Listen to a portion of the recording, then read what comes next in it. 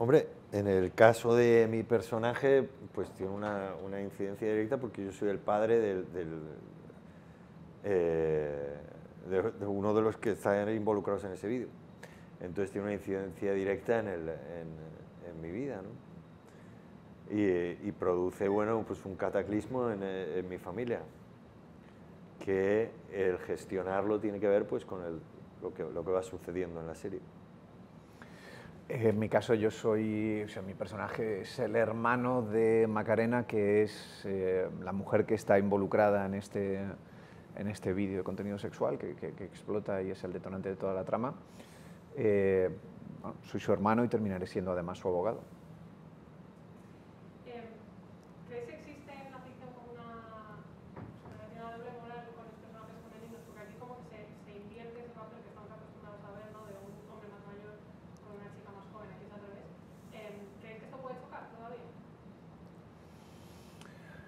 Bueno, yo creo que mm, es verdad que no es lo más, eh, que no es lo más habitual, es verdad que mm, o sea, una cosa interesante de la serie es que todo está visto desde la mirada femenina, o sea, la mirada que, mm, prima es la mirada femenina, los personajes digamos, más protagónicos son los personajes femeninos.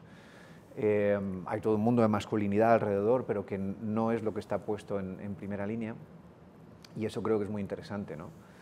Y, y esta relación entre una mujer más mayor y, un chaval más joven y cómo es eso mirado y cómo es eso mirado de forma distinta por todos los integrantes de, esta, eh, de este mundo que estamos retratando, creo que, creo que es interesante porque no es, no es lo habitual ¿no? y que se, se arrojan juicios de valor distinto cuando es un hombre o cuando es una mujer.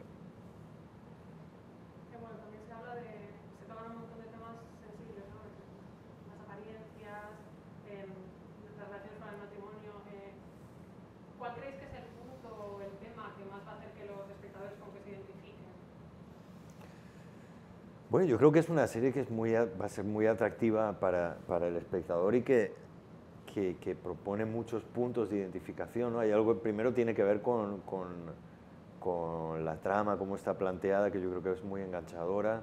Eh, hay un, aparece este vídeo, después hay un asesinato. Eh, y después yo creo que son personajes todos muy diferentes, tanto los femeninos como los masculinos. Entonces eh, ofrece puntos de que te puedes identificar con cada uno, que además luego puede ir variando. Son personajes con muchas aristas, ¿no? Entonces te puedes identificar con uno, pero después poner en cuestión eso que hace, eh, porque van cambiando mucho los personajes. Sí, yo, yo creo que hay un... O sea, que la serie para el espectador es atractiva primero por la trama, primero por la narrativa, primero por esta cosa de de thriller que no sabes quién, quién ha hecho qué, o si el chaval era menor, o si hay un cadáver, quién lo mató, etc. Y luego, bueno, pues hay un retrato de, de, ese mundo en el que parece que es más importante la apariencia que la esencia, ¿no? que es más importante aparentar que, que, lo que realmente, la felicidad o no que tengas, unos personajes que se supone que han alcanzado el éxito, pero que viven en una suerte de jaulas de cristal, unas jaulas de oro, ¿no? de eh, donde nadie parece estar feliz en el, en el espacio que ocupa, eh, que también creo que hay un retrato interesante ¿no? de, bueno, de una parte de nuestro mundo ahí.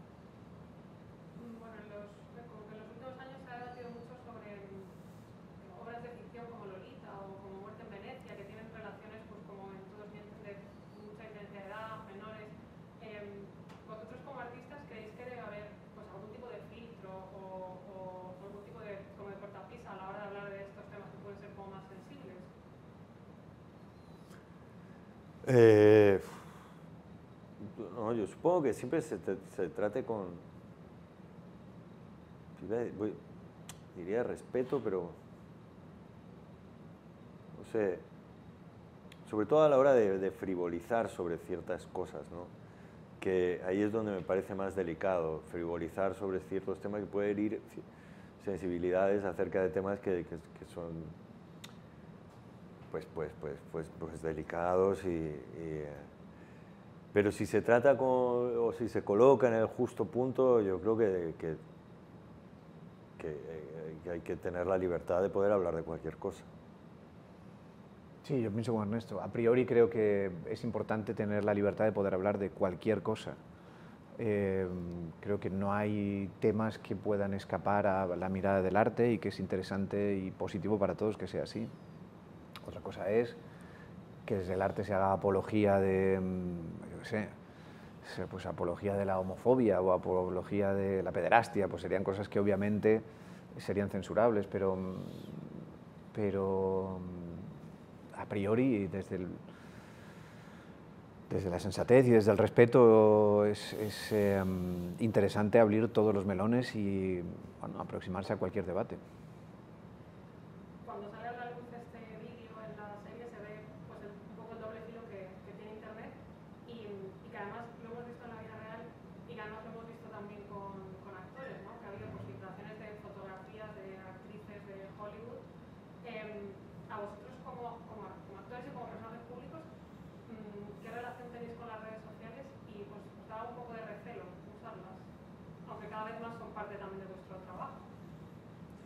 Bueno, sí, ahora sucede que en mi caso yo lo utilizo más sobre todo eso como herramienta que tiene que ver con mi trabajo y de promoción de los trabajos que, que hago eh, y bueno, y respeto y eh, la manera que tiene cada uno de relacionarse con eso, con las redes y tal.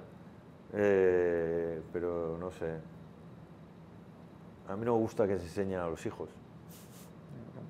No me gusta, pero es una cosa muy personal hay gente que lo hace, pero no sé. Igual yo siento también que es algo que, todavía es muy nuevo. Eh, y, en un lugar no, tenemos medida de, hasta qué punto nos está influyendo y cómo. Eh, no lo sé. Hay una parte que me gusta y que, y que, entiendo, pero otra donde me parece peligrosa, ¿no? sobre todo en, en, eh, en los adolescentes y tal. No sé eh, la medida que, bueno, que se crea ahí toda una burbuja, un mundo que, que, que, que en realidad es, es ficticio, ¿no? Eh, pero bueno, no sé. Sí, no sé, creo que es una respuesta compleja, una, una realidad compleja. Creo que las redes sociales implican muchas cosas y muchas cosas para mucha gente dependiendo de cómo las usen, ¿no? Pero es verdad, y sí que estoy de acuerdo con Ernesto, en, en el primer acercamiento de la gente más joven, de los, de los, eh, en la pubertad y en la primera adolescencia, a las redes sociales, em, bueno, creo que es algo que, hay que, mm, que todavía hay que aprender a manejar. Em, primero porque, porque bueno, ponen por como primera premisa la apariencia y luego porque es de entrada competitivo. O sea, es, eh, todo tiene que ver con la cantidad de aceptaciones que tengas, ¿no? la cantidad de likes, la cantidad de gente que le guste, eh, y ya de entrada establece que, mm, que las relaciones sean a través de la competencia ¿no? y que tengas que arriesgar más o exhibir más eh, y mostrar más apariencia para poder ser más, más aceptado. ¿no? Y eso establece relaciones que no, que no me parece que sean a priori saludables. Entre gente que a lo mejor no está todavía preparada para, para saber realmente quién es. No sé si alguna vez terminamos de saberlo, pero desde luego en la adolescencia, en la primera pubertad, estás todavía formándote una idea de quién, quién realmente eres.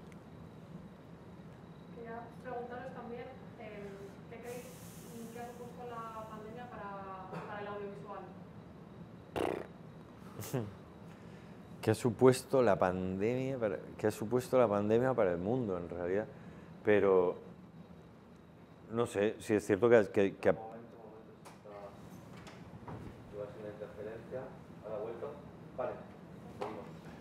Pues a ver, yo creo que no sé qué ha supuesto la pandemia para el audiovisual, pero sí la posibilidad de la gente, sí que ha habido como, como un auge y, ha aparecido como algo como que, que de repente, eh, bueno, eh, ha acompañado a mucha gente dentro de estos momentos que hemos tenido que estar confinados y tal, eh, y ha ofrecido, bueno, pues la, posibilidad de eso, de acompañar a la gente.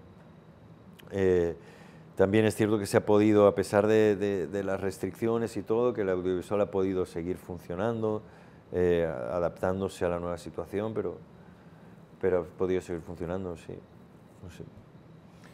Sí, yo, yo, pienso lo mismo, ¿no? Creo que lo sustancial y lo esencial es eso, que se ha demostrado que, una vez más, que el arte, en concreto el audiovisual, que es lo que ha podido llegar a todas las casas, ha sido necesario para poder, eh, bueno, superar y pasar y atravesar toda esta situación, esta pandemia mundial, este hecho insólito que hemos vivido la humanidad al unísono. Eh, también es verdad que, el, que ha golpeado de forma irregular al sector, ¿no? no es lo mismo pues cómo sale de esta pandemia eh, las plataformas de streaming que cómo sale en las salas de cine. Eh, creo que la asistencia a salas pues seguramente es uno de los, bueno, de los eslabones débiles de, todo el proceso audiovisual por la pandemia, ¿no? que ha sido particularmente perjudicada. Pero bueno, creo que, que, hemos, como colectivo, digamos, hemos aguantado bastante bien y hemos, no hemos parado de ofrecer eh, contenidos y, productos artísticos interesantes a los espectadores y eso supongo que es lo más, lo más importante. Pues ya por último, chicos, quería preguntaros cómo definiríais totalmente con poquitas palabras. Muy buena. es la hostia. Eh, pues bueno, yo creo que es una, es una propuesta muy atractiva, que tiene digamos, una serie con una estructura de thriller, pero que tiene una alquimia muy especial donde de repente hay eh, toques de otros géneros como humor negro, eh, eh, intriga, digamos, y bueno, con un reparto maravilloso, encabezado por Juan Diego Boto y, su excelente buen hacer. y, y bueno, eso. Yo diría lo mismo. Creo que es un thriller apasionante, creo que es eh, una historia muy entretenida, donde se van a ver unas muy buenas interpretaciones, donde hay trabajos de compañeros y compañeras muy buenos y donde el espectador va a ir siempre por detrás de la trama tratando de averiguar eh, y con las ganas de, de, que se desvelen los misterios a la vez que, bueno, que vas viendo unas relaciones sociales interesantes.